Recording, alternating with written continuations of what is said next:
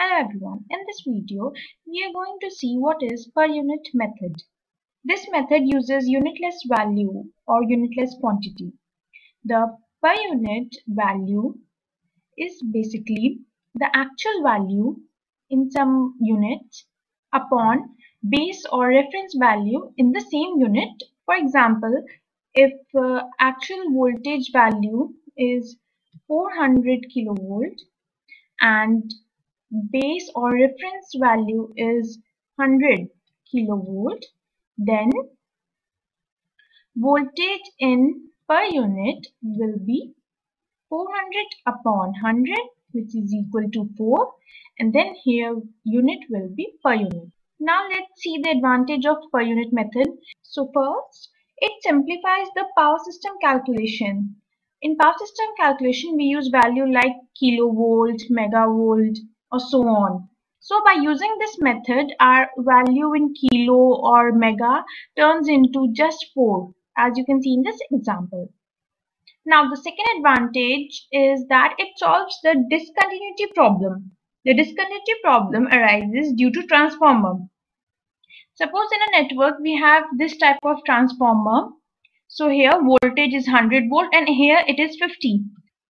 And there is this discontinuity. So this creates problem in calculation and this problem is solved by using this per unit method. In this method, only power and voltage value is taken as the base value and then we derive the base value of other quantities like uh, current and impedance.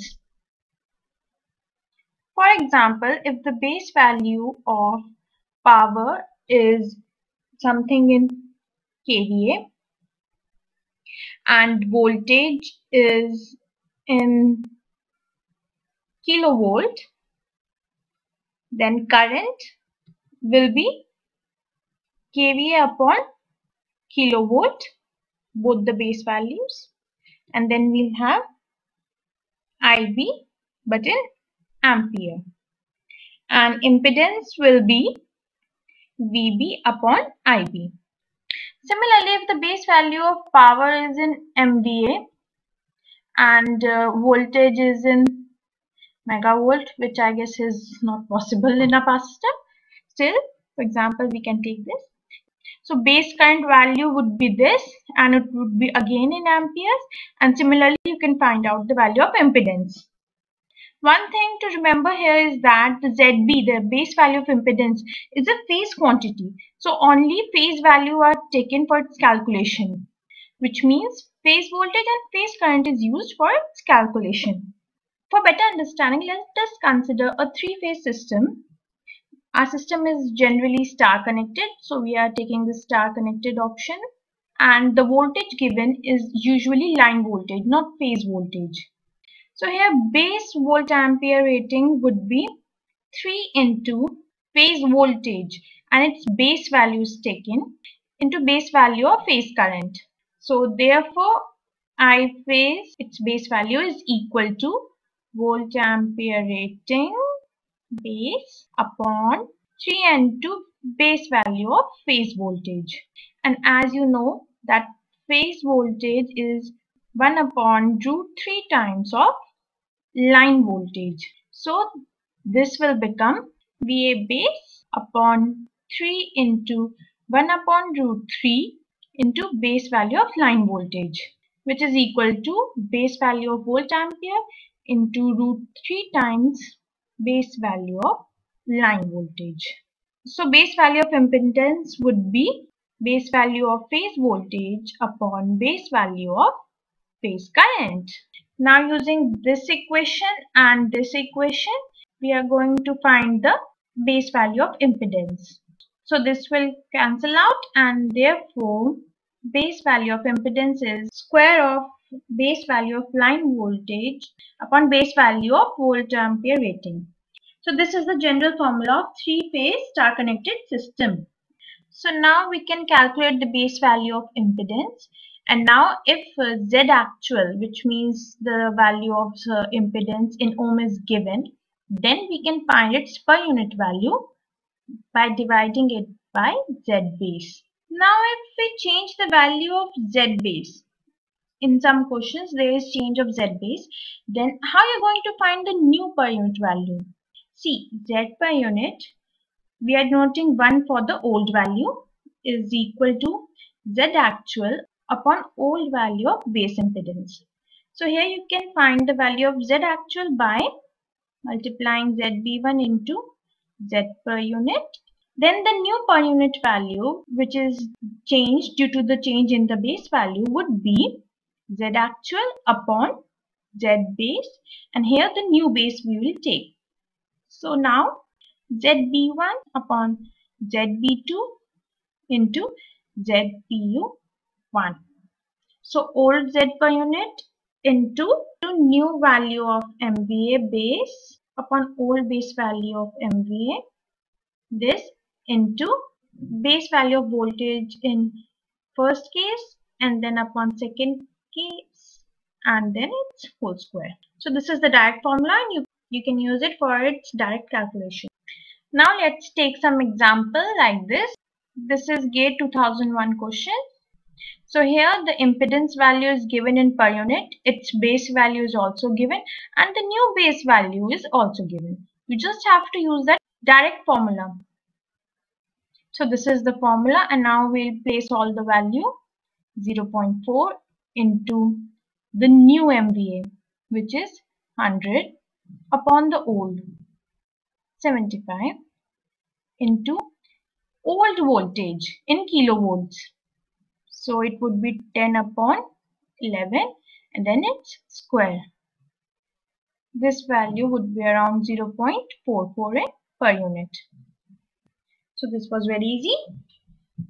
So now let's take another example. It is from GATE 2010. So this is the power system shown and these are its specification. You have to choose 25 kilovolt as base voltage and then you have to draw the impedance diagram. So this is the impedance diagram. Now we are going to find all the values of these reactances in per unit and on these base values. So starting from this G1 here and it is on base 25 kilovolt and 100 MVA. So here the base voltage is same and now only we have to change the base MVA. So this is equal to 0.09 into its new MVA upon old MVA and since voltage is same so we'll write 1 here and its value is 0.18 in per unit. So this was for G1. Now for this transformer T1. So this transformer has this transformation ratio. Here it's 25 kilovolt and on this side it is 220 kilovolt. Since we are going from G1 to this side, so we'll use 25 kilovolt as the base. So here the base value is right.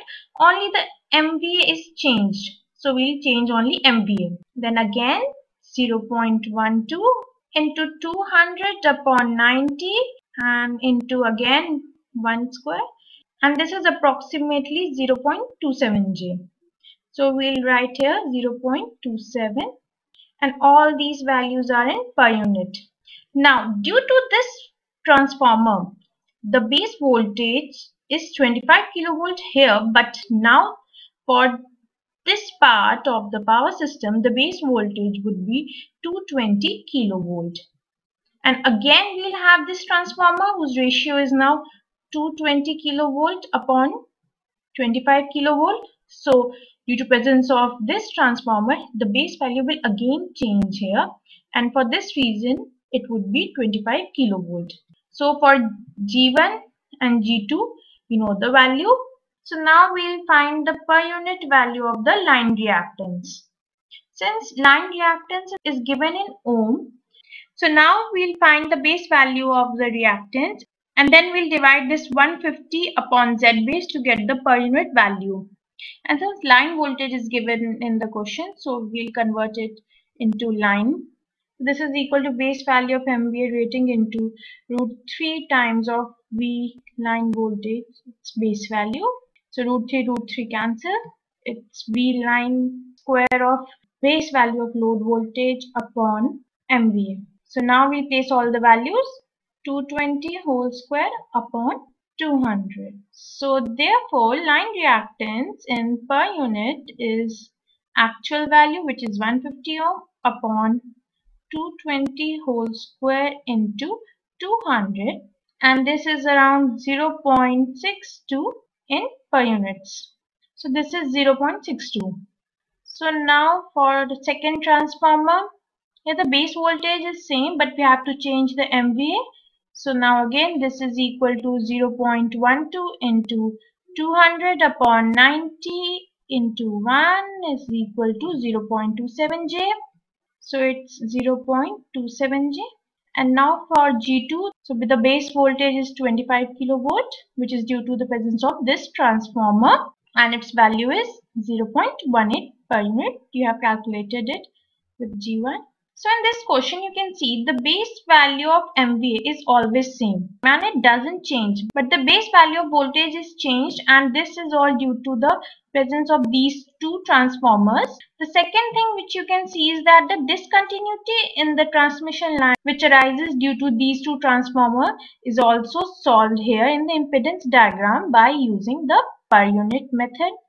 And the third thing which you can see is that you're not using the heavy values like kilo and mega. We are using value in decimal like this to calculate. So it simplifies the calculations also. This was the per method. Thank you.